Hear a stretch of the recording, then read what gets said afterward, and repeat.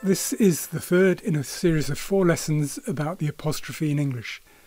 In this case, we will look at some aspects of apostrophe use that many native speakers of English get wrong or are unsure about. The first problem is the correct choice of the little word its. Should it be its with an apostrophe or its without an apostrophe? This may be the most misspelled word in the English language Certainly, it's the most common misspelled word I see in the comments sections of the Guardian newspaper. The first mistake is omitting the apostrophe when the word is a contraction of it is or it has. The it's in it's been snowing is a contraction of it has been snowing. So it's needs an apostrophe.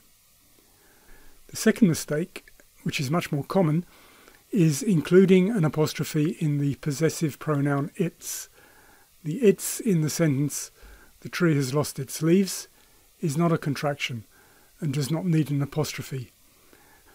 The its in this case is a possessive pronoun similar to the possessive pronouns his or our in he's lost his keys and we've lost our way.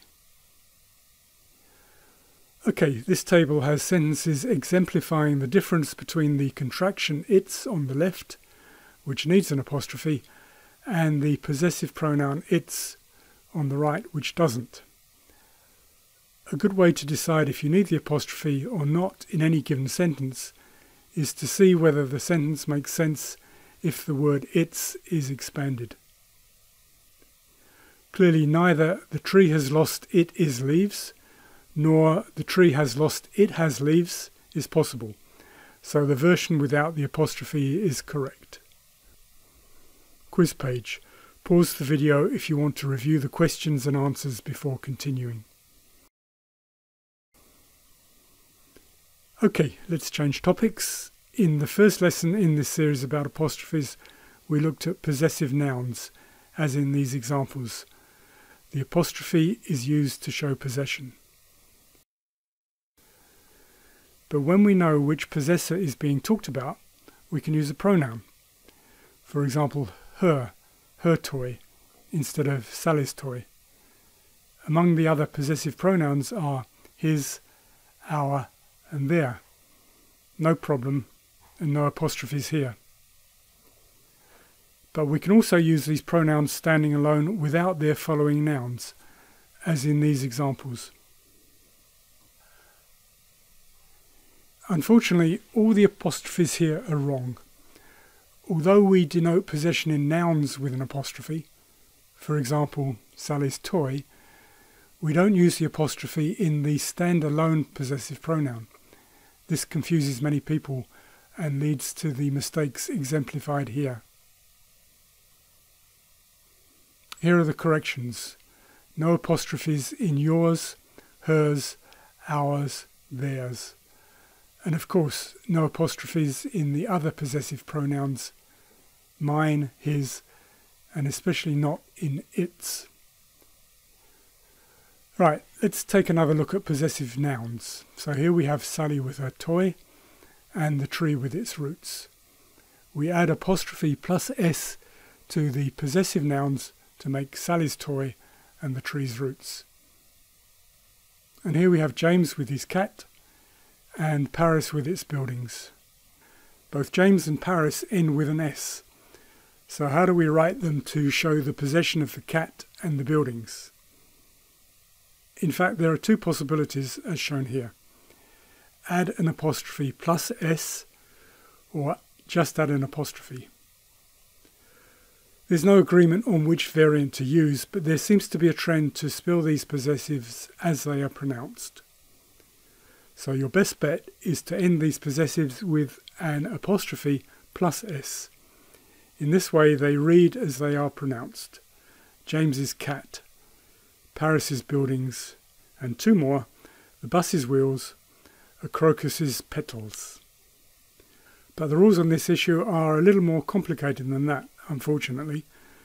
Here are two examples of words ending in s, one singular, the other plural where no apostrophe or just the apostrophe are commonly seen. So if you really want to get things right, you should consult your organization's style guide or look in an authoritative style guide such as the Chicago Manual of Style. Alternatively, you may be able to avoid the issue altogether by rewriting the possessive noun to use the preposition of.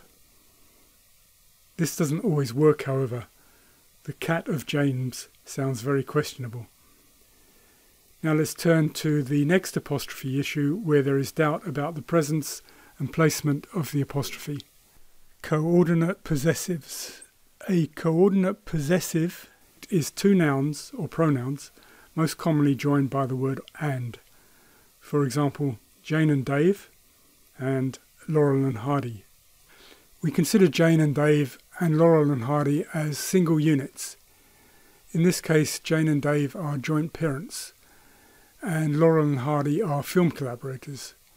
Single units have a single apostrophe plus s, as in the possessive phrases here. Now here are James and Mary with their pets. They are not a single unit, and obviously not parents, as Jane and Dave are. So when we put them together in a possessive, we need apostrophes for both names, James's and Mary's pets. The same applies to the different films of two different directors, Kubrick and Spielberg, Kubrick's and Spielberg's films. A similar principle applies here. In this example, Jenny and Mia's friends, it will most likely be understood that these are their shared friends. In this second example, Jenny's and Mia's friends, it will probably be understood that these are different friends. If you want to make this clear, you could just repeat the word friends. For example, Jenny's friends and Mia's friends are coming to the party. Quiz page. Pause the video if you want to review the questions and answers before continuing. For the next problematic apostrophe issue, let's imagine that a new Scottish school is choosing a name for itself. Which of these alternatives is correct, with or without the apostrophe? It's clear that an apostrophe is needed to denote grammatical possession in phrases embedded in sentences such as, the girls' toilets are open. But when the phrase is a title or a sign, then the matter is less clear. There is no definitive answer here, but there seems to be a clear trend towards omitting the apostrophe in names, titles, and signs, especially when the relationship is not one of possession. The Cambridge Guide to English Usage lists the examples you see on this page where the apostrophe is left out. Right, let's wrap up by looking at the thorny problem of how to apostrophize abbreviations, letters and numbers. For a start, how would you write the common admonition, mind your P's and Q's? In other words, remember your manners. Well, the answer is that there is no agreement except that the last one is wrong. The Cambridge Dictionary's variation is the least logical because we don't use the apostrophe to show regular plurals. However, it is a variation that seems to be the most common. There is similar disagreement over the insertion of the apostrophe in the other abbreviations, letters and numbers. Here are a few examples. Once again, the trend seems to be towards simplification, which means that the non-apostrophe variant is gaining ascendancy.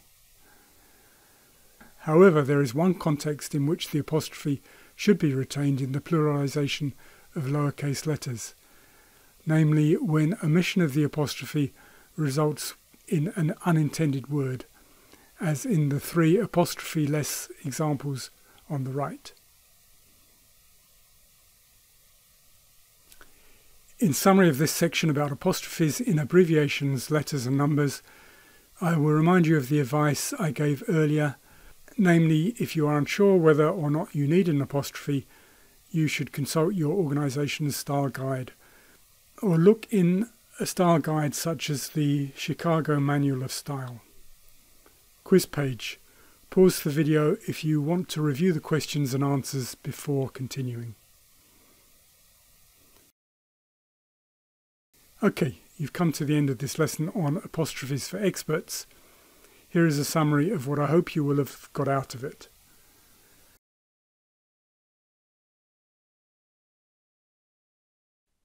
In the description below this video you will find a link to the lesson index page shown on the left. As you can see there are four ways to access the content as well as a glossary and links to quizzes and more information on the topic.